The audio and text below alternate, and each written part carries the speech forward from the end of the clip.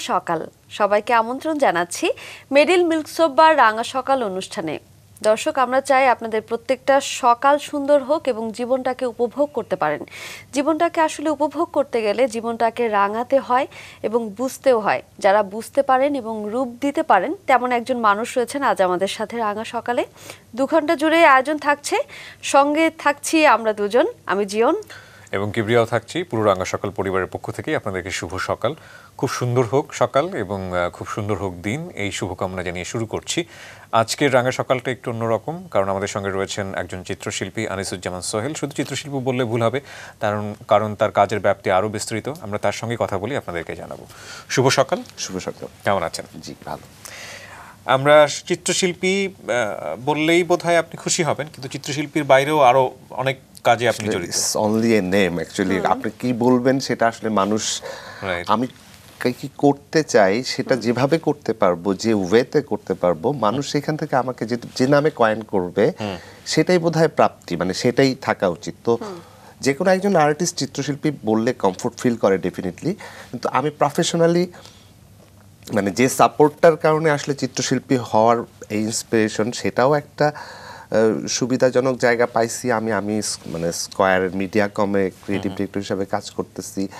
আমার মানে কাজের এনভায়রনমেন্টটাও আই এম সো লাকি মানে একদমই এত কমফোর্ট জোন মানে যার কারণে আমি ওই ওই ফ্রি স্পেসটা বের করতে পারি বা আমি নিজে মানে আমাকে ওই কমফোর্টটা তারা দেয়, আমি কি করতে চাই সেই ফ্রিডমটুকু আমি পাই।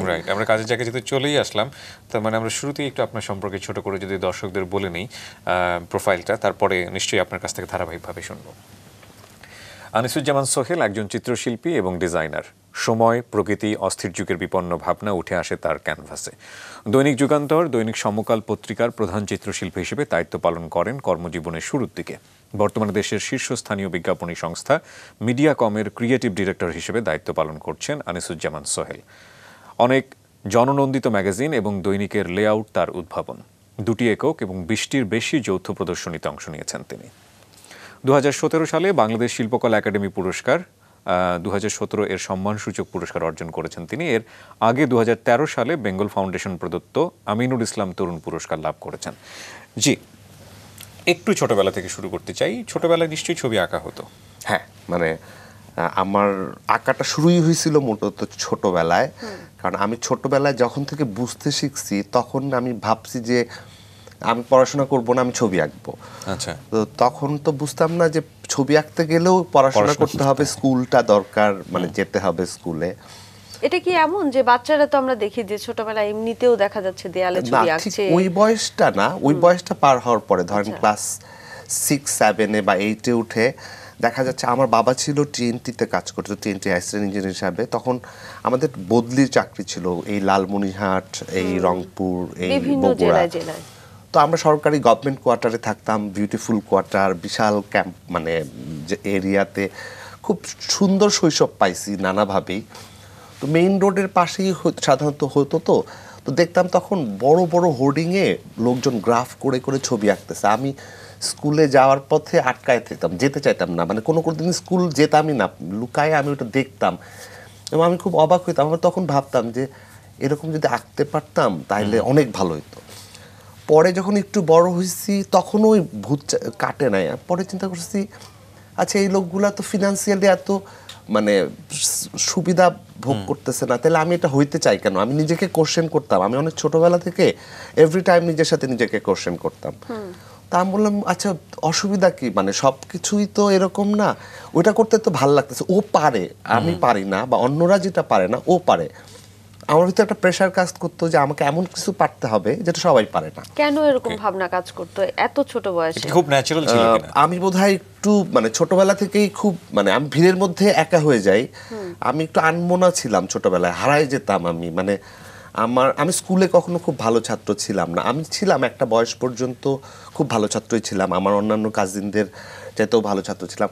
একটা বয়সের পর না আমার পড়াশোনার প্রতি আমি ভীষণ অমনোযোগী হয়েছি। আমি মানে অঙ্ক খাতায় দেখা যাচ্ছে ছবি আঁকতেছি বাসায় বকায় খাচ্ছি। আমি ক্লাস নাইনে থাকতে আমাদের একটা সংগঠন ছিল। আমি সলো এক্সিবিশন করছি। তখন অয়েল পেইন্ট বলতে কি বোঝায় বুঝতাম না।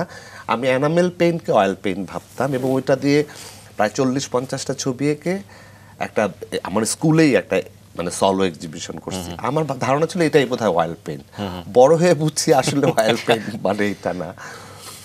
তো এইরকম আমি আমার ছোটবেলা খুব ইন্টারেস্টিং কারণ আমি বিভিন্ন ডিস্ট্রিক্টে গেছি বিভিন্ন টাইপের মানুষের সাথে পরিচিত। দীর্ঘ সময় দেখা যাচ্ছে যে আমার একটা টাইম পর্যন্ত গাইবান্ধা তার দু বছর পরে আবার বগুড়া। বন্ধুও চেঞ্জ হয়ে যেত। বন্ধু সার্কেল যার কারণে ওই রকম ফিক্স কোনো বন্ধুর সাথে কন্টিনিউশন থাকে না। তখন দেখা যায় কি নিজের সাথে একটা একাকিত্ব তৈরি হয়। আমার ছোটবেলা থেকেই আমি নিজের সাথে এবং স্টিল আমি আমি খুব একা হয়ে যেতে পছন্দ করি এবং এটা আমি উপভোগ করি। আমি ধরেন আপনার সাথে কথা বলতে বলতে আমি একা হয়ে যাচ্ছি। আমি এটা উপভোগ করি। কারণ তখন আমি আরেকটা কিছু ভাবছি। এবং সব মানুষ যে জিনিসটার মধ্যে থেকে মানে সুন্দর দেখে না মানে আমি চেষ্টা করি ওরও একটা নিজস্ব বিউটি আছে। আমি সেটাকে পিক করার চেষ্টা করি। ফাইন একটা যেটা বুঝতে পারছি যে বর্ন ডিফারেন্ট হওয়া মানে ন্যাচারালি ইউ আর ডিফারেন্ট আরেকটা হচ্ছে না সচেতনভাবে নিজেকে কীভাবে তৈরি করার চেষ্টা। না আমার আমার কখনো আমি কখনো এই যে তখন জানি না আর্ট কলেজে পড়তে হয় আর্টিস্ট হতে হলে বাকি আমি দেখতাম আমার তখন ধারণা ছিল আমি বড় হয়ে একটা সাইনবোর্ডের দোকান থাকবে আমার আমি সাইনবোর্ড লিখব মানে অনেক কিছু এঁকে দিব মানুষ নিয়ে যাবে এবং সেটা থেকে আর্ন করব কীভাবে চলবো সেটা নিয়ে আমার টেনশন ছিল না। কিন্তু আমার একটা মানে সাইনবোর্ডের দোকান থাকবে বা আমি মনে হয়েছিল আমি যে তখন মনে হতো একটা সাইনবোর্ড আর্টিস্ট হওয়াটাই আসলে অনেক বড় কিছু। পরে যখন বুঝতে পারছি আমার মনে হয় এইটটি ফাইভ সিক্সের দিকে কামরুল হাসানের পেন্টিং দিয়ে ব্রিটিশ আমেরিকান টোবাকো একটা ক্যালেন্ডার করছিল। ওইখানে আমি প্রথম কামরুল হাসানের তিন কন্যা বা ওই সিরিজটা উকি ছবিগুলো দেখি। তখন আমার ধারণা পাল্টে গেছে। তার আগে ছবি আঁকা বলতাম ল্যান্ডস্কেপ ওয়াটার কালারে নদী পাখি ফুল অন্য বাচ্চারা যা আঁকে ওই রকম বা একটু মানে তখন আবার শিল্পকলা একাডেমিতে শিশু পুরস্কার প্রতিবারই আমি হয় আবৃত্তিতে নাইলে একটা না একটা প্রতিবারই আমি স্কুলে খারাপ ছাত্র হলেও আমার স্কুলে আমার। আমার আবার একটা আমার খুব গ্রহণযোগ্যতা ছিল। হয় আমি বিতর্কে প্রাইজ নাইলে রচনা লেখায় প্রাইজ নাইলে ছবি আঁকায় প্রাইজ তো স্কুলের জন্য আমি প্রতিবার শিল্পকলা থেকে দুইটা তিনটা মেডেল এনে দিতে পারতাম। আচ্ছা। মানে এইটা আমার একটা গুড পার্ট ছিল। যার কারণে টিচাররা খুব অপছন্দও করতে পারতো না। আচ্ছা। তো কবে বোন ছিলেন আপনারা? এক ভাই এক বোন ছোটবেলাতে আপনি বড়? আমি বড়। বাবা কি চাইতো যে ছেলে বড় হয়ে কি হবে? আমার বাবার আসলে একটা ইন্টেনশন সব সরকারি কর্মজীবীদের থাকে যে ছেলে বড় হয়ে তার চাকরিটা করুক। বিয়ে করে সুখী হোক সেটেল লাইফ বা ফ্যামিলি মানে, কিন্তু আমার বাবা আবার একটা দিক দিয়ে খুব কমফোর্টেবল সেটা হলো একটা বয়সে গিয়ে সে আমাকে সবসময় বোঝাইতো যে ঠিক আছে তুই যা হইতে চাস তাই হ। মাস্তান হইলে সেরা মাস্তান হইতে হবে। গুন্ডা হইলে সেরা গুন্ডা। যা করবে সেইখানে বেস্ট হইতে right. মানে ওই আধা আধি ঝুলে থাকা জিনিসটা তার অপছন্দ। মানে তার কথা তুমি চোর হও বেস্ট হইতে হবে। তুমি সায়েন্টিস্ট হলে সায়েন্টিস্ট তুমি আর্টিস্ট হতে চাইলে ওইখানে ভালো করতে হবে। তুমি আর্ট কলেজে ভর্তি করলাম তুমি ড্রাগ অ্যাডিক্ট হয়ে গেলা। আমাদের সময় এরকম একটা এন্টি ধারণা ছিল যে চারুকলায়. পড়ল যে হ্যাঁ বোধহয় ছেলেরা নেশা করবে ব্যাগ কাঁধে ঝুলায় ঘুরবে দাঁত ব্রাশ করবে না না। আছে এরকম পার্সেপশন ওরকম একটা চুল এলোমেলো থাকবে। সবসময় টিপটাপ চলতাম যেন মানুষ আমাকে দেখে ওইটা না ভাবতে পারে যে আমি অন্যদিকে গেছি। রাইট সো আপনার কর্পোরেট লাইফ কতদিনের হচ্ছে? আমি মিডিয়া কমে অলমোস্ট দশ বছর এর আগে ইউনিট ট্রেন্ডে ছিলাম পাঁচ বছর। আমি কর্মজীবন আমার শুরু হয়েছে স্টুডেন্ট লাইফের সাথে প্যারালালি ফাইন তাহলে ফিফটিন ইয়ার্সকে আমরা একটু পরে ডিসকভার করি। আমরা একটু যদি জানতে চাই যে আপনি চারুকলায় ভর্তি হলেন কত সালে? আচ্ছা আমরা হলাম প্রি ডিগ্রির লাস্ট ব্যাচ আচ্ছা। এটা নাইনটি ওয়ান টু ব্যাচ আমরা ঢাকা ইউনিভার্সিটির সেশনে একানব্বই বিরানব্বই সেশন মানে যে সময় রাজনৈতিকভাবে উত্তাল একটা একদম সময়। এরশাদ আমল শেষ হয়েছে মানে জাস্ট নতুন ইয়ে চেঞ্জ এবং ওই টাইমটায় আসলে নব্বইয়ের দশকটা আসলে ঢাকা ইউনিভার্সিটির বোধহয় মানে সবচাইতে ইন্টারেস্টিং একটা টাইম এই সময়। তার আগে তো ষাটের দশক পঞ্চাশের দশক ওগুলোকে আমি বাদ দিচ্ছি। কিন্তু আমি যদি এই এই জেনারেশনে ধরি বোধহয় স্বাধীনতার পরবর্তী সময়, হ্যাঁ হ্যাঁ। এটা বোধহয় একটা ইন্টারেস্টিং টাইম ওই সময় অনেক কালচারাল অ্যাক্টিভিটি হতো। মানে টিএসসিতে বই মেলায় বা ডাকসু সব কিছু মিলিয়ে যেটা হয়তো সেইটা এখন ওই পরিমাণ দেখা যায় না। এখন শুধু ক্রাউডটা পাওয়া যায়। কিন্তু মানে ঠিক আমাদের সময় আমরা যেরকম দেখতাম ওইখানে দুইজন মিলে কবিতা পড়তেছে ওইখানে দুইজন মিলে ছবি আঁকতেছে ওইখানে গান গাচ্ছে গিটার হাতে টিএসসিতে বসে। সেটা বোধহয় একটু চেঞ্জ হয়েছে একটা একটা যে ব্যাপার যেটা হচ্ছে বাবার কাছ থেকে তো একটা মানে সম্মতি ছিল উইথ কন্ডিশন যে তুমি যেটাই করো বেস্ট হতে হ্যাঁ, হবে। মানে, কিন্তু আমাদের সামাজিক জায়গা থেকেও তো এক ধরনের একটা পারসেপশন আছে মানে চারুকলা নিয়ে। হ্যাঁ, অনেকেরই হ্যাঁ, চারুকলায় পরে মানে গোল্লাই গাছে বা এরকম কিছু হ্যাঁ। একটা। তো আমি আসলে কখনো কোনো আমার নিজের রুলে চলে আমি কাউকে কোনো কেয়ার করি না। ধরেন আমি যাকে অপছন্দ করি তার সাথে আমি মিশবো না তার সাথে কথা বলব না। আমাকে যারা পছন্দ করে আমি শুধু তাদের সাথেই মিশি। এবং সামাজিকভাবে কিন্তু একটা বিষয় হয় যে চারুকলায় কেন পড়তে হবে? অন্য কোনো সাবজেক্ট নেই। তো আমাকে বললে বলতাম যে আমার ইচ্ছা এবং আমি এটা ছাড়া পারব না। কারণ হচ্ছে আমি এরকমও মানে টার্গেট নিছিলাম যে যদি আমাকে এখানে দেওয়া না হয় তাহলে আমি ইন্টারমিডিয়েটের পর ইচ্ছা করে ফেল করব। মানে যে আমার এদের কিছু হচ্ছে না আমার আমার পড়াশোনা হবে না। মানে আমি এতটাই ডেডিকেটেড ছিলাম। আমি চারুকলাই পড়তে হবে অনেকের ধারণা থাকে যে কোনো সাবজেক্ট পায়নি এই তারপর শেষ পর্যন্ত কোনো স্থান নেই চারুকলায় যে ভর্তি হয়েছে। হ্যাঁ এই- ধারণা হয়তো এখনও আছে কিন্তু এখন কিছুটা চেঞ্জ হয়েছে। এখন আহ, এখনকার যে মানে ঢাকা ইউনিভার্সিটির ফ্যাকাল্টি হয়ে গেছে। আমাদের সময় তো আসলে সরাসরি ফ্যাকাল্টি ছিল না। আমরা যখন ছিলাম তখন এটা একটা ইনস্টিটিউট ঢাকা ইউনিভার্সিটির আন্ডারে এবং ঢাকা ইউনিভার্সিটির থ্রুতেই পরীক্ষা দিতে হতো আমাদের সার্টিফিকেট ঢাকা ইউনিভার্সিটি ইস্যু করতো। আমাদের পর থেকে একদম সরাসরি এটা ডিপার্টমেন্ট হলো মানে অনার্স স্টার্ট হলো। তো তখন তখন এখন তো একটা ফ্যাকাল্টি চারুকলা আমরা যে সময়টার কথা বলছিলাম সেটা হচ্ছে আপনার শিক্ষা জীবন চারুকলায় আপনি তখন শিখছেন। এবং আপনি একটু আগে মোটামুটি আমাদেরকে ধারণা দিয়েছেন যে শিক্ষা জীবনে থাকা অবস্থায় আপনি মোটামুটি কর্মজীবনে চলে যান। হ্যাঁ অলমোস্ট তাই কারণ আমার বাবা যেহেতু সরকারি চাকরি করত এবং আমার বাবাকে যদ্দূর দেখছি এখনও ফিল করি মানে সে আসলে সরকারি ওই সময় যারা টিএনডিতে চাকরি করতো লাইনম্যানদেরও ঢাকা শহরে দোতলা বাড়ি থাকতো। তো আমার বাবা শেষ বয়সে বাড়ি করছে টাকা সেখানেও আমাকে হয়তো কন্ট্রিবিউট করতে।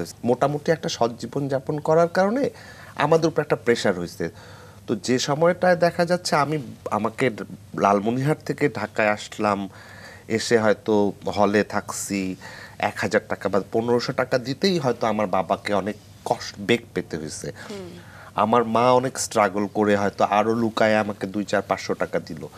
ইনিশিয়ালি হতো কে? ওই সময় তো ঢাকা ইউনিভার্সিটিতে আর অনেকে ভর্তি হচ্ছে বুয়েটে ভর্তি হচ্ছে। ওদের বাবারা বলে যে বারোশো টাকায় তো আমার ছেলের হয়ে যায়। একানব্বই বিরানব্বই সালের কথা বলতেছি। তাহলে তোমার হয় না কেন? আমার ইস্যুটা হচ্ছে ওই আমলে একটা ফোর বি পেন্সিলের দাম বারো টাকা। একটা কার্টস পেপারের দাম চার টাকা। আর যে ছেলেটা বুয়েটে পড়তেছে ওর তো ইকোনো বল পেন আর কয়েক দিস্তা কাগজ লাগে আর হল- হলের ডাইনিংয়ে খাচ্ছে। যার কারণে ওর খরচটা আর আমার খরচটা এক না। এখন সেটা বুঝেও মানে আমি যে প্রেশার দিব আমি জানি তো আমার বাবার অবস্থা কি। তখন দেখা যাচ্ছে আমি খুব লাকি জীবনে একটা দিক দিয়ে আমি যখন হলে উঠলাম গণরুমে উঠছিলাম তিন চার মাস থাকার পর আমি বোধহয় একটু ভদ্রসদ্র ছিলাম বা কিছু সহানুভূতি পেতাম মানুষের। তো ধ্রুবয়েশ তখন অলরেডি নাম করে ফেলছে সে হুমায়ুন আহমেদের বুক কাভার করে। ওই আমলে হুমায়ুন আহমেদ হলে এসে বসে থাকে মানে ধ্রুবদার জন্য। তো ধ্রুবদার রুমে একজন ছিল মিলন রায় বলে তিনি ব্যানার ট্যানার লিখতো, প্রচুর কাজ করতো। তো আমি মিলনদাকে অ্যাসিস্ট করতাম, রঙের বাটি আগায় দেওয়া। তো তারা মনে করল, ঠিক তিন নাম্বার রুমে আমি গণরুমে কষ্ট হচ্ছে, তাহলে তুমি এই রুমে শিফট করো। তো ওই মিলনদার সাথে একটু একটু কাজ করি তার সাথে মানে বেশ হাত খরচ টরচ কিছু দেয় সে। একদিন হঠাৎ দুপুরবেলা ধ্রুবদা সাধারণত হলে থাকে না। কোত্থেকে এলো হন্তদন্ত হয়ে কতগুলো পোস্টার পেপার আর আমাকে তুলিয়া রং টং দিয়ে বলতেছে, তুমি এই বিশটা পোস্টার লিখে দাও। তার আগে আমি জীবনে লিখি নাই। মানে পোস্টার কীভাবে লিখতে হয় আমি জানি না। আমি তো অবাক তোমার, আমি ভাবলাম যে আমার হলে জুনিয়র আছে, তোমাকে দিই। ধ্রুবদাকে কেউ রিকোয়েস্ট করছে, টাকাও দিবে। তো ধ্রুবদার নিজে মাটিতে বসে আমাকে হাতে খড়ি দিয়ে শিখায় দিল। তিন চারটা সে নিজে লিখে দিল। তারপর আমি বাকিগুলো লিখে ফেললাম। প্রথম তখন বোধহয় মানে পাঁচশো না ছয়শো টাকা একদম ক্যাশ হাতে পাইছি। এত ফুর্তি। তাও কাজ করে। কাজ করে হ্যাঁ।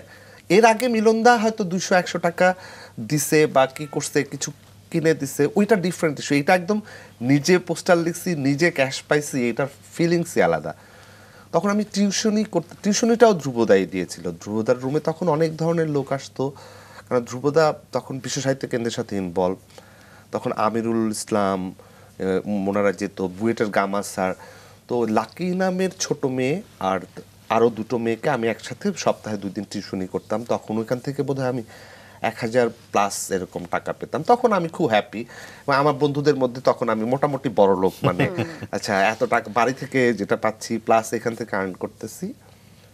কর্মজীবন টিউশনিকে কর্মজীবন বলব না আমি এটা সব স্টুডেন্টরাই করে।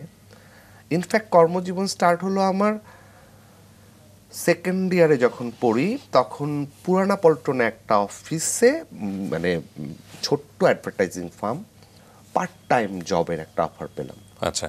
যে ক্লাস আওয়ার চারুকলায় তখন আমাদের ক্লাস হতো আড়াইটা পর্যন্ত ম্যাক্সিমাম তো ক্লাসের পরে যাব সন্ধ্যা পর্যন্ত কাজ করে দিয়ে আসব। তো সুন্দর আড়াই হাজার টাকা স্যালারি খুব মহা খুশি আমি নিজে। এখন আমি তখন কনফিডেন্ট আমি নিজে আর্ন করতে পারি সো দ্যাট আমার এখন পৃথিবীর আর কাউকে অত কেয়ার না করলেও চলবে। তো হলে থাকি। তখন খুব ভালো চল এবং তারপর থেকে ওই যে আমি স্টার্ট করলাম তারপর আমাকে আসলে ওইভাবে পেছনে তাকাতে হয় নাই। তবে স্ট্রাগল করতে হয়েছে অনেক।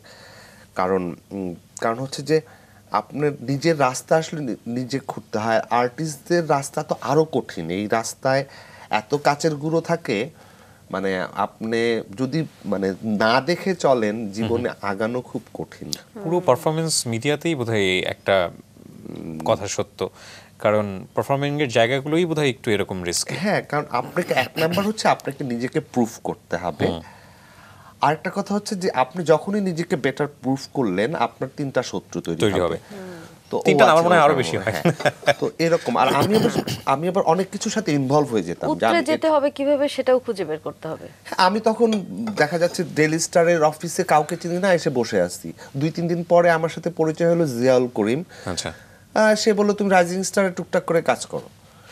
কোনো পয়সা না কিছু না শখে করি। মানে আমার তখন ক্রেভিংটা হচ্ছে আমি একটা কিছু করব এটা নাম ছাপা হবে। একটা মানে একটা আনন্দ ওই যে একটা সিগনেচার ছাপা হবে। ওইটার আনন্দে আনন্দে আমি ফ্রি করতাম অনেক কিছু। তখন আবু হাসান শাহরিয়ার একটা পত্রিকা তো খোলা জানালা বেক্সিম কোর সম্ভবত। ওইখানে একটা কাভার ছাপা হইলে এক পয়সাও পাইতাম না কিন্তু কি যে আনন্দ লাগতো একটা হাফ পেজ ছবি ছাপা হয়েছে আমার। এবং ওখানে আমার নাম ছাপা হয়েছে ওইটার একটা আনন্দ ছিল। তবে একটা তো ফিক্স গোল থাকে যে ঠিক আছে আমি আঁকছি এভাবেই জীবনটা চলবে। কিন্তু থাকে না একটা লং টার্ম গোল না আমার জীবনে কোনো ফিক্স গোল ছিল না স্টিল নাই। তো ওটা নিয়ে আপনি পস্তান না কখনো যে I am so happy with that মানে আমি আমি জানি যে আমার চোখ এবং আমার হাত এবং আমার ব্রেইন যদি ঠিক থাকে আমার আইডিয়া যদি থাকে আমি যে কোনোভাবে মানে বেটার সার্ভাইভ করতেই পারব। আমার নিজের প্রতি কনফিডেন্ট লেভেল আমার অনেক এক ধরনের অনিশ্চয়তা আমাদের প্রত্যেকের জীবনেই আছে। আমরা যে পেশাতেই থাকি না কেন? যে আপনি যে যে কথা যে কথাগুলো বললেন সেই জায়গাটা থেকে একটা অনিশ্চয়তা থেকে যে কালকে দেখা গেল একটা অ্যাক্সিডেন্ট হয়ে অনেক- অনেক বড় হ্যাঁ, সেইটা ডিফারেন্ট ইস্যু বাট আমি ওইটাই বললাম যে আমি যদি সুস্থ থাকি তাহলে আমি জানি যে আমি আমি কি পারি বা আমি আমাকে নিজেকে প্রুফ করার চেষ্টা আমি করেই যাব। কারণ আমি প্রতিনিয়ত নিজেকে ভাঙি প্রতিনিয়ত মনে করি আমার কিচ্ছু হয় নাই এখন পর্যন্ত কালকে থেকে শুরু করব। সো দ্যাট আমার কাছে স্টিল মনে হয় না যে আমি শুরু করে ফেলছি আমার হয়ে গেছে। আমি স্টিল ভাবি আমার এখনও কিছুই হয় নাই। রং ভাবেন কখন নিজেকে? রং ভাবি মানে আলটিমেটলি যে আপনি যেটা ভাবছেন বা যা করছেন সেটা ঠিক হচ্ছে না সেটা ভুল ভুল হচ্ছে হ্যাঁ। জীবনে অনেক জেনে শুনেও ভুল কাজ করি এবং সব মানুষই করে। এবং সেই ভুলগুলো করেও আমি অনেক সময় হ্যাপি হই যে এই ভুলটা করছিলাম বলে আমি এই শিক্ষাটা পাইছি। এবং শিল্পীর কিন্তু তেষ্টা বলব যে থাকেই। মানে এই মানে কখনোই এটা হলো সেটা মিটে যায় না। তৃপ্তিহীন তৃষ্ণা। আপনার যতই পানি খান এই তৃষ্ণা মিটবে না। কারণ হচ্ছে আপনি আজকে আমি একটা কাজ করলাম এটাতে আমি মনে হচ্ছে যে কাল হয় নাই কিছু। আবার পরের দিন আর একটা কাজ করলাম না এটাও হয় নাই কিছু। আবার কোনো কোনো কাজ দেখে নিজের ভালো লাগে। আর ছবি আঁকার মতন আনন্দদায়ক কাজ বোধহয় এই পৃথিবীতে আর কিছু নাই। রাইট যে যে কাজটি করতে চায় তার জন্য আসলে সেটাই সবচেয়ে আনন্দদায়ক হ্যাঁ নিঃসন্দেহে। কিন্তু তার মধ্যে আমার ধারণা ছবি আঁকাটা সত্যিই খুব আনন্দের। মানে আপনার আর কিচ্ছু লাগে না। জীবনে আপনি যদি মানে শুধু ছবি আঁকা নিয়ে পড়ে থাকেন আপনার আসলে আর কোনো মানুষ দরকার নাই কোনো সঙ্গ দরকার নাই। একটা নিঃসঙ্গ মানুষও মানে খুব আনন্দে কাটাইতে পারে যদি সে ছবি আঁকতে পারে। নিশ্চয়ই। আপনি এই জীবনটা থেকে এটারই একটা ভিন্ন মাত্রা বলব। এখান থেকে তো সুইচ করা নিশ্চয়ই না। কর্পোরেট লাইফ লাইফে গেলেন এবং সেখানে আপনি বিজ্ঞাপনী সংস্থায় কাজ করা শুরু করলেন বা তার আগে হয়তো অন্য কিছুও করেছেন। সেখানে গিয়ে কি বিষয়টা কি সাংঘর্ষিক হয়ে দাঁড়াল নাকি পরিপূরক হয়ে দাঁড়াল আসলে? শুরুতে সাংঘর্ষিক ছিল আর আমার কোনো অ্যাম্বিশন নাই কিন্তু আমার সবসময় ভালো থাকার ইচ্ছা সব মানুষের থাকে। আমি খুব অলমোস্ট আমি মানে বিএফএ শেষ না করে স্টুডেন্ট লাইফ শেষ না করে গাড়ি কিনে ফেলছিলাম। টু থাউজেন্ড ফোরে বোধ হয় তখন অনেক আগে। অলমোস্ট তখনও আমি চারুকলার ছাত্র। বাবা কি বেঁচে ছিলেন। বাবা স্টিল বেঁচে আছে। তো আচ্ছা। আমাকে সবাই বলছিল ওই সময় গাড়ি কিনবা কেন? বোকা নাকি তুমি? একটা ফ্ল্যাট বুকিং দাও। গাড়ি কিনবো শুনে ভাবছে লোকে আমার কাছে অনেক টাকা আসলে আমার কাছে কোনো টাকাই ওই রকম না। আমার একটা বাইক ছিল। ওইটা বিক্রি করে কারণ আমার মানে ঠান্ডার প্রবলেম ছিল। আমি রাতে। যখন তখন আমি পত্রিকা অফিসে চাকরি করতাম যুগান্তরের চিফ আর্টিস্ট ব্যাক করতাম অনেক ঠান্ডা লাগতো। তো আমার আন্টি ডক্টর সে বলছে তুমি বাইক চালানো ছেড়ে না দিলে তুমি বাঁচবা না। তুমি একদম ব্রমকাস্ট মানে খুব বাজে ধরনের পেইন হয় আমার চেস্টে তখন আমি অত রাতে আসব কি করে? তা আমার একটা বাহন তো দরকার। মানে আর আমি আর আমার হলো আমি কখনো ছোটবেলা থেকে বাসে চড়তে পছন্দ করি না। আমি যে যে রাস্তাটা আসলে বাসে যেত মানুষ আমি হেঁটে যেতাম। বাসে ঝুলতে আমার ভালো লাগতো না মানে আমি তিন মাইল রাস্তা আমি আমি শুরুর দিকে চারুকলায় থাকতে আমার চাচার বাসায় উঠছিলাম হলে সিট পাওয়ার আগে। তো আমি শান্তিনগর থেকে ইউনিভার্সিটি পুরো হেঁটে আসতাম তাও বাসে চড়তাম না। কারণ আমার কাছে মনে হতো যে Comfort লাগতো না, ঠিক কমফোর্ট লাগতো না। আমি স্টিল বাসে উঠতে পারি না ঠিক মতন। তো গাড়ি কেনার ইস্যুটাতে তখন আমি সবাইকে বলছিলাম, দেখো, আমার একদিন গাড়ি হবে, এটা আমি জানি। কিন্তু যে বয়সে গিয়ে হবে, যদি আমি এখন ফ্ল্যাট বুকিং দিই, সেই বয়সে ড্রাইভার গাড়ি চালাবে আর আমি পেছনে বসে পেপার পড়ব, ওই গাড়ি আমি কখনোই চালাবো না, ওই বয়সে আমি রিক্সায় চড়বো. মানে আমি আসলে একটু বোধ হয় এখনও খুবই বেহিসাবি মানুষ। আচ্ছা তো না, ঠিক আছে, জীবনে বেহিসাবি হওয়ার প্রয়োজন আছে। কিন্তু যেটা প্রশ্ন ছিল যে সাংঘর্ষিক হয়ে গেল কিনা। সাংঘর্ষিক হয় নাই। শুরুতে যখন প্রচুর প্রেশার ছিল, তখন আমি এই ধরনের ছবি আঁকতে পারতাম না। তখন আমি খুব ফ্রাস্ট্রেটেড থাকতাম। কি করব করব, করে খুঁজে পাচ্ছিলাম না। তখন আমি এক ধরনের কাজ করতাম ফ্রাইডে স্যাটারডেতে তখন সেগুলো মনে হচ্ছিল হয়ে উঠতেছে না আমি যে আঁকতে চাই। আমার কাজে বিভিন্ন সিনিয়র আর্টিস্টদের প্রভাব। আমি কিছু করতে চাই। তখন আমি ফার্স্ট বাংলাদেশের মধ্যে শুরুর দিকে ডিজিটাল গ্রাফিক্স খুব ভালো করতাম। তো তখন আমি ডিজিটাল আর্টটাকে অ্যাডাপ্ট করলাম নিজের সাথে। তো ডিজিটাল কাজের একটা সুবিধা ছিল আপনার অফিসের কাজের গ্যাপ টাইমে অফিসে বসেও করা যায় বাসায় এসে রাতে দুই ঘণ্টা কাজ করা যায় মানে কাজটা আসলে মগজে হইতে হয়।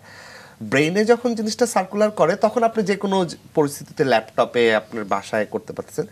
তো একটা সময় আমার টার্নিং পয়েন্ট ছিল আসলে বৃত্তের সাথে ইনভলভ হওয়া। বৃত্ত একটা আর্ট ট্রাস্ট তো আমি টু থাউজেন্ড নাইনে বা এইটের শেষে টোকিওতে একটা ইন্টারন্যাশনাল ডিজাইন এর জন্য মানে ডিপ্লোমা করতে গিয়েছিলাম একটা এওটিএসে একটা স্কলারশিপ নিয়ে। তো সেইখান থেকে ফিরে এসে বৃত্তে একটা ইমেজ ম্যানিপুলেশন ওয়ার্কশপ করছিল, সেটাতে আমি পার্টিসিপেট করি। তো তখন আমাদের সিনিয়র আর্টিস্ট মাহবুব ভাই তৈবা বেগম লিপি ওরা খুবই এক্সাইটেড মানে তুমি এত ভালো কাজ করো তুমি ছবি আঁকাটার সাথে ইনভলভ হও না কেন? খালি চাকরি বাকরি করে কি মানে লাইফ পার করে দিবা? তখন আমার মনে হলো যে আমি এগুলো কি হয় মাহবুব এগুলো কি আসলে আদৌ এগুলো কাজ করে? তারপর একদিন আমি শিশির স্যারকে আমি দেখাচ্ছিলাম একটা তখন বোধহয় আমার আইপ্যাড ছিল বা কোনো একটা ডিভাইসে আমি ছবি দেখাচ্ছিলাম। শিশির স্যার বলতেছে তুমি এগুলো শো করো না কেন? কাজ করো না কেন? তুমি তো জানো কত সবার থেকে আগায় আছো তুমি এইসব করে।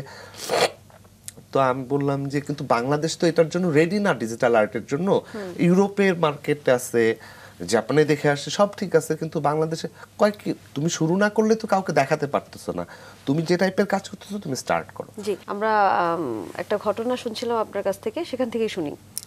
তারপরে ডিজিটাল আর্ট দিয়ে আবার ব্যাক করলাম আর্টের ফিল্ডে অ্যাকচুয়ালি তার মধ্যে আমি প্র্যাকটিস আমি প্র্যাকটিস কখনো স্টপ করি না। আমি স্টুডেন্ট লাইফ থেকেই মানে অল্টারনেটিভ জিনিসের প্রতি আমার ঝোঁক বেশি ছিল। আমি দেখা যাচ্ছে যখন একাডেমিক কাজ নিয়ে সবাই ব্যস্ত তখন আমি মানে অন্য প্র্যাকটিস করতেছি। আমার বন্ধুরা খেপাতো কি রে মানে ক্লাস ওয়ার্ক ভালো মতন না করে তুই এগুলো এখনই করতেছিস? এগুলো মাস্টার্সে যেয়ে করবি কি তাইলে? এটা কি শেখার কিছু আছে নাকি মানে? শেখা তো একাডেমি তো আপনাকে একটা বেসিক শেখাচ্ছে। ছবি আঁকাটা টোটালটা ডিপেন্ড করে আপনি কি আঁকবেন কি করে আঁকবেন সেটা আপনার ওয়ে তো তখনই আপনি আর্টিস্ট হতে পারবেন। কারণ আপনি নদী দেখে নদী আঁকতে পারেন ফুল দেখে ফুল আঁকতে পারেন তার মানেই আপনি আর্টিস্ট না। কারণ আর্টিস্ট হইতে হলে আপনার একটা ভিশন থাকতে হবে। আর্টিস্ট ভাবনাটার একটা এখন সেটা সম্পর্কেও এক একজনের এক এক ধরনের ব্যাখ্যা আছে। কারণ হচ্ছে আহ, আব্বাস কিরস্তি উনি বলছে যে শিল্পের জন্য আসলে জ্ঞানের প্রয়োজন হয় না।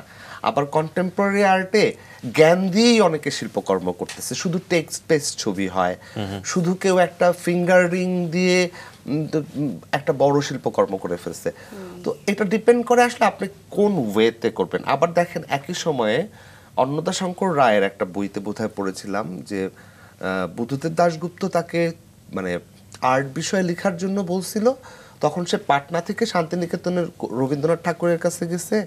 এবং জিজ্ঞেস করছে আচ্ছা গুরু আর্ট কি এতই ভালো জিনিস না যে স্বাভাবিক সাধারণ মানুষের দৈনন্দিন জীবনের পথ্য হতে পারে?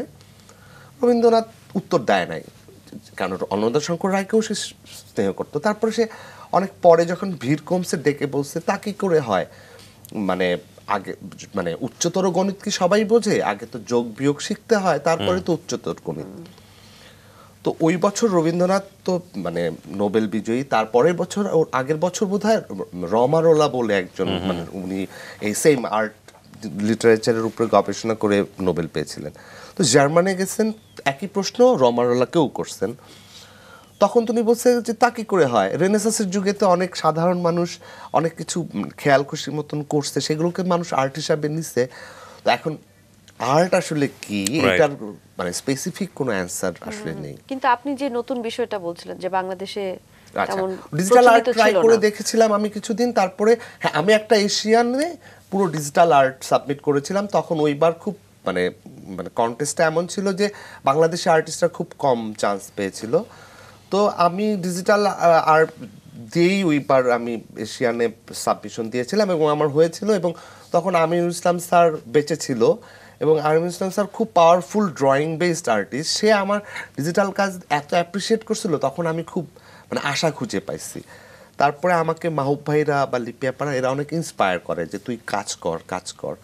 তারপরে আমি ঠিক আছে আমি আবার পেন্টিংয়ে আবার ড্রয়িংয়ে ব্যাক করি তো। আম- আমার ড্রয়িংটা তো আসলে রক্তের সাথে মিশে থাকে মানে ডিজিটাল কাজ ওকে ফাইন ওটার কনসেপ্ট নিয়ে আপনার কাজ কিন্তু আপনি হাতে যখন রংটা কাগজে দেন ওইটার সময় যে মানে শরীরে যে অনুভূতি হয় সেইটা আবার ডিজিটাল কাজ করার সময় পাওয়া যায় না আসলে বোধ হয় রাইট যে জায়গাটায় আমরা ছিলাম যে সাংঘর্ষিক হয়ে যায় কিনা তো সেটার একটা মোটামুটি কিছুটা হয় হ্যাঁ। এটা অস্বীকার করব না।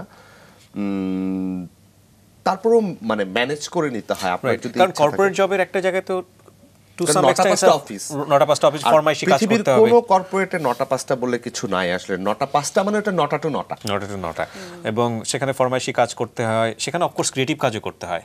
হ্যাঁ মানে আমার সুবিধাটা হলো আমি যেহেতু অ্যাডভার্টাইজিং এজেন্সিতে কাজ করি আমার প্রসেসটাই হলো ক্রিয়েটিভ জব আমাকে ক্রিয়েটিভ প্রসেসের মধ্যেই থাকতে হচ্ছে সারাদিন। হয় প্রেস লেআউট ডিজাইন করতে হচ্ছে। নাহলে কোনো একটা আইডিয়ার সাথে করতেছে আমার বস তার সাথে আমি ওটার মধ্যে ইনভলভ হচ্ছি ঢুকে যাচ্ছি। তো প্রসেসটাই একটা ক্রিয়েটিভ প্রসেসের মধ্যে, সারাদিনই আমাকে এই দিক দিয়ে আমি লাকি যে আমি যদি অ্যাকাউন্টস ডিপার্টমেন্টে চাকরি করতাম, রাতে গিয়ে ছবি আঁকতে কষ্ট হইতো। তো যেহেতু আমি কাজটাই করি ক্রিয়েটিভ আমার প্রফেশনটাই যেহেতু ক্রিয়েটিভ ডিরেক্টরের তো আমার খুব বেশি ঝামেলা হচ্ছে না। যেটা হয় সময়ের। না, কিন্তু এখানে আমার একটা জিনিস, আপনি যেহেতু বললেন একটু আগেই আমরা শিল্পের, কোনটা শিল্প সেটা নিয়ে এক ধরনের ডেফিনেশনের জায়গায় যাওয়ার চেষ্টা করেও ব্যর্থ হচ্ছি, বিভিন্ন মানুষের কথা শুনে, গুণী মানুষের কথা শুনে। এই ধরনের একটা আর্ট বা শিল্প যেটার জায়গাটা আসলে মানুষের বোঝার জায়গাটা আমরা দেখেছি যুগের পর যুগ ধরেই সীমিত যারা বুঝতে চান উচ্চতর গণিতের উদাহরণ আমরা আসলো। সেই রকম একটা বিষয় নিয়ে স্টাডি করে পড়াশোনা করে চর্চা করে যখন একটা টুথপেস্টের বিজ্ঞাপন বানাতে বলা হচ্ছে ওই জায়গাটা সাংঘর্ষিক হয়ে যায় কিনা? মানে আপনাকে সার্ভাইভ করতে হবে। পৃথিবীর সব দেশেই মানুষ সার্ভাইভ করার জন্য কিছু না কিছু করে। আমরা বোধহয় সবাই মনে করি কি বাংলাদেশি বোধহয় অনেক কঠিন। আমার অনেক বিদেশি বন্ধুরাও আছে। আমরা অনেক ওখানেও আর্টিস্টরা যে খুব আরাম করে কাজ করতে পারে হ্যাঁ যারা অনেক রিচ ফ্যামিলির ছিল এখন সুলতানের কথা যদি আমি বলি ওনার যশোরে এত বিশাল বাড়ি ছিল এবং উনি প্যারিস থেকে পড়াশোনা করে এসে ঢাকা ইউনিভার্সিটিতে জয়েন করার প্রয়োজন মনে করে নাই। উনি মনে করছে আমি যশোরেই থাকব আমি আমার নিজের ছবিটা আঁকবো। উনি এঁকে গেছে। ওনাকে কোনোদিনও না খেয়ে থাকতে হয় না মানুষ একটা ধারণা কি আর্টিস্ট মানে বোধহয় না খেয়ে থাকতে হয়। হবে হয় না। পেটে যদি আপনার মানে ভাত না থাকে কোনোদিনও ছবি আঁকা হবে না। কিন্তু কেউ কেউ তো থেকেছেন। আমরা ভ্যান গগের কথা নাই। না ভ্যান গগের কথা আপনি ভ্যান গগের কথা আমরা যেটা মনে করি বইতে এটা ভুল পড়ি আমরা। ভ্যান গগের সময় ভ্যান গগ অলমোস্ট এভরি নাইটে বারে গিয়ে মদ খাওয়ার টাকা পেত কই থেকে।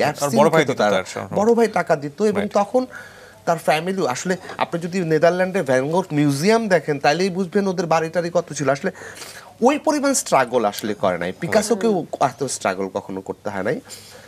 আবার আমাদের জয়নুল আবিদিনও হ্যাঁ স্ট্রাগল কোনটাকে বলি?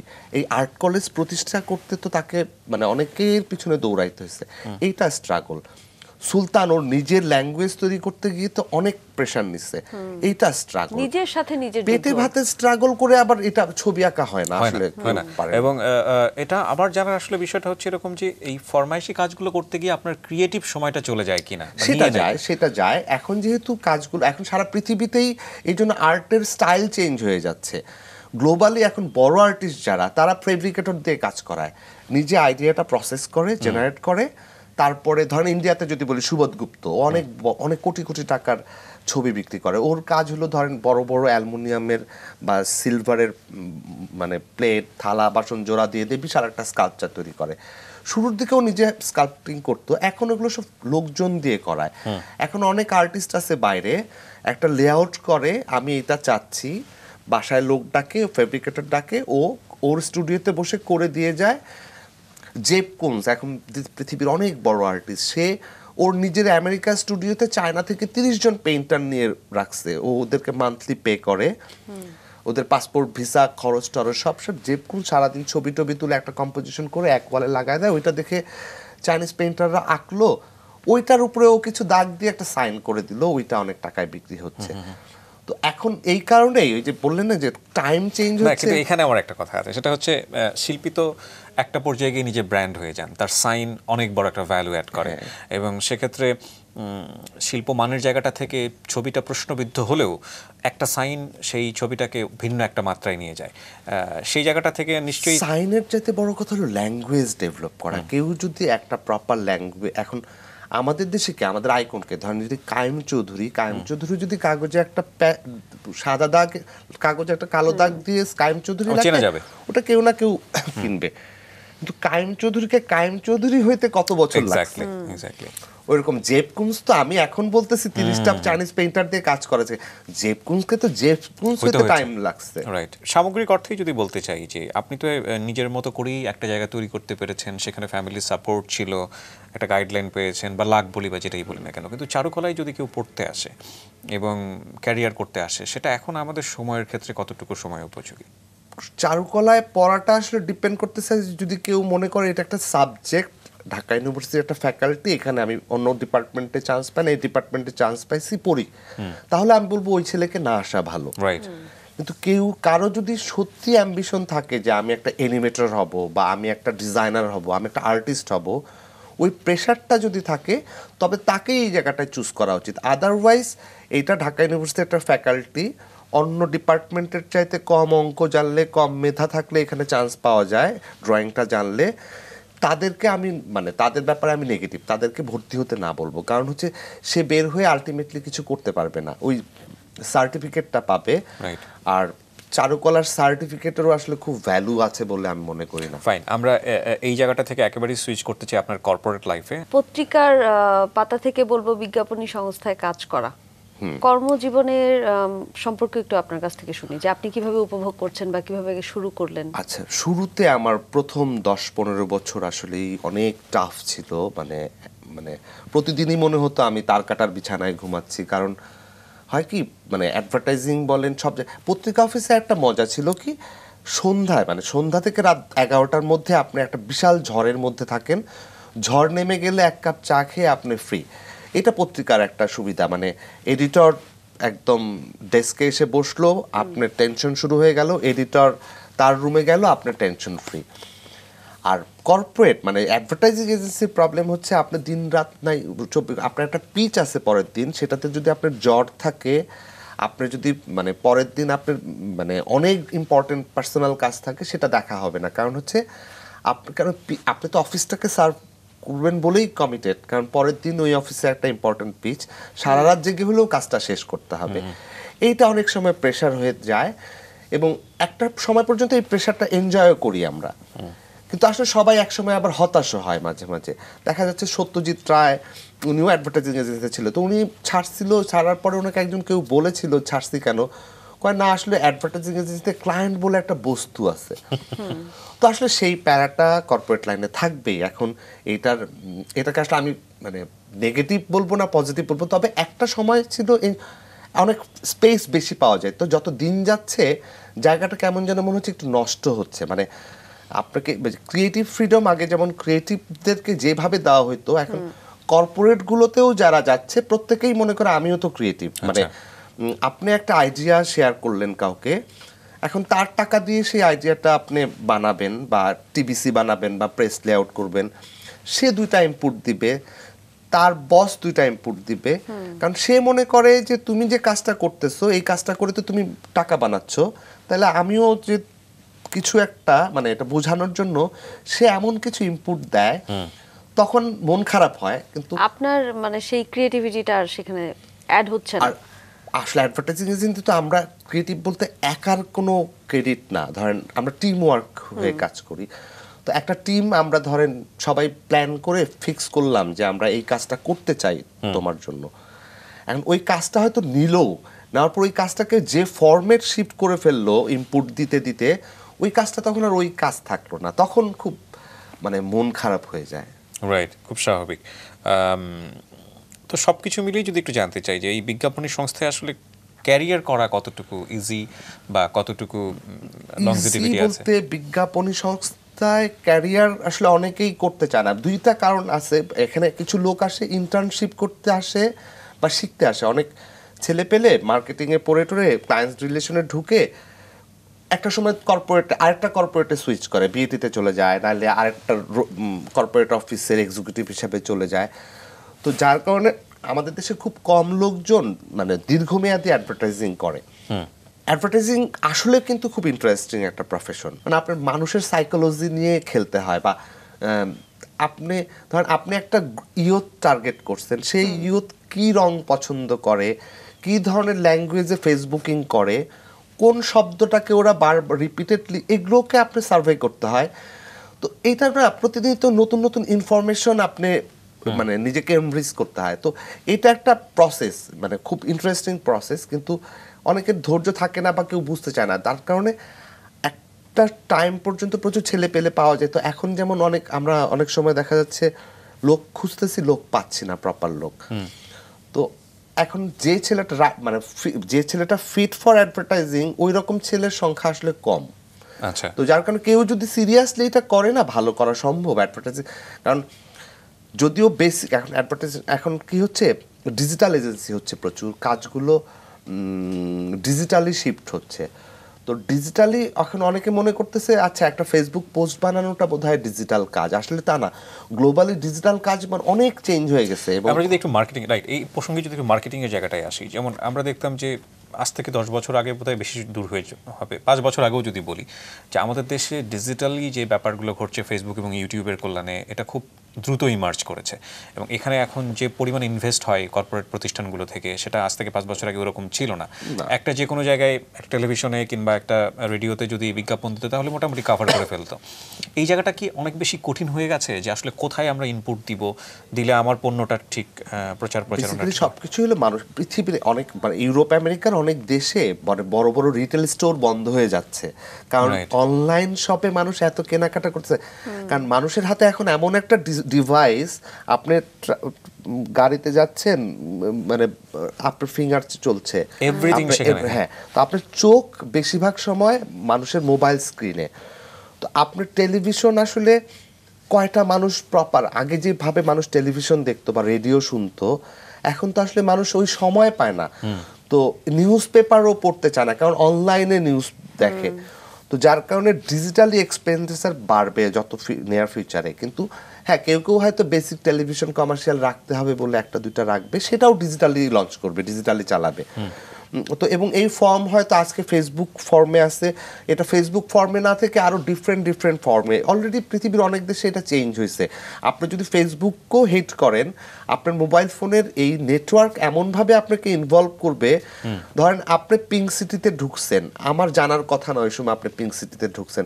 কিন্তু আপনি ওই নেটওয়ার্কে চলে গেলেই আমি আমার একটা শপের বিজ্ঞাপন আপনার মোবাইলে এস এম এস চলে যাবে। আমি এই মেকানিজম করতে পারি এখন পৃথিবীতে। তো আপনি পিঙ্ক সিটির সিঁড়িতে পা দেওয়ার সাথে সাথে আপনার ওই ওই মার্কেটেরই দুইটা দোকানের অফার পাইলেন আপনি। আপনি খুব অবাক হবেন যে আমি এখন পিঙ্ক সিটিতেও জানলো কি করে। তো এরকম না অনেক ধরনের মানে চেঞ্জ আসতেছে এবং খুব দ্রুত আর অনেক কিছু পাল্টে যাবে। কাস্টমারও কিন্তু চায় যে মানে সহজে কি পাওয়া যায় অল্প সময়ে কি এটা অনেক কীভাবে পেতে পারে? হয় কি ধরেন একটা জায়গায় আপনাকে একটা দোকানে ধরেন আপনি প্লাজা এয়ারে একটা দোকান আছে সেখানে যেতে হলে বনানী থেকে আপনাকে এত ট্রাফিক জ্যাম ঠেলে ঠেলে যাবেন ওটা কিনবেন তারপরেও মানে পছন্দ হবে কিনা অনলাইনে আপনার অনেক অনেক অপশন আপনি যেটা পছন্দ হইল অর্ডার করলেন হাতে পাওয়ার পর পছন্দ না হলেও ফেরত দেওয়ার অপশন আছে। তো এর চাইতে ইজি তো আর কিছু নাই লাইফের আবার যিনি অনলাইনে বিজনেসটা করতেছেন তার ইনভেস্টমেন্ট তাকে বিশ লাখ টাকা দিয়ে অ্যাডভান্স করে দোকান নিতে হলো না। তার ছোট্ট খাটো বাসাতে বসে বাড়ির ছাদে বুটিক বলেন যে কোনো জিনিস চায়না থেকে নিয়ে এসে ইন্ডিয়া থেকে নিয়ে এসে সে খালি ছবি আপলোড করলেই হলো ইনবক্স করুন। তো যে লাইফটা অনেক মানে আগামী দশ বছর তো অনেক দূরে আগামী দুই তিন বছরেই দেখেন অনেক কিছু চেঞ্জ হয়ে যাবে। চেঞ্জ হয়ে যাবে। এই চেঞ্জেসটাকে আমরা কি খুব পজিটিভলি নিচ্ছি আমাদের সামগ্রিক সামগ্রিক পজিটিভলি না নিয়ে আসলে আমাদের উপায় কোনো অপশন নাই। মানে অপশনটাই এমন কারণ উম, যা ঘটার তা ঘটবেই। মানে আমি বা আপনি মানে এটা আটকাতে পারব না। মানে এটাই এটাই আসলে নিয়ম। বিজ্ঞাপনের জায়গাটাই যদি আমরা একটু বলতে চাই বিজ্ঞাপন তো এটা একটা বিশাল ইন্ডাস্ট্রি এবং এই ইন্ডাস্ট্রিটা অনেকগুলো ইন্ডাস্ট্রিকে সার্ভাইভ করায় আমাদের প্রেক্ষাপটে। তো সেই জায়গাগুলো থেকে আপনি আপনি কি মনে করেন? ট্রেনটা কি অনেকখানি চেঞ্জ ইনফ্যাক্ট চেঞ্জ হয়েও গেছে। চেঞ্জ হয়ে গেছে। তো এক্ষেত্রে অনেক বড় এজেন্সি বন্ধ হয়ে গেছে। আমি ইউনিট ট্রেন একসময় বাংলাদেশের খুব বড় এজেন্সি ছিল। এখন ইউনিট ট্রেন ছোট হইতে হইতে অলমোস্ট বন্ধ হওয়ার অপশন মানে একসময় ইউনিট ট্রেন্ডে কেউ চাকরি করে বলতে প্রাউড ফিল করতো। আমি ইউনিট ট্রেন্ডের আর্ট ডিরেক্টর বা আমি ইউনিট ট্রেন্ডের অমুক।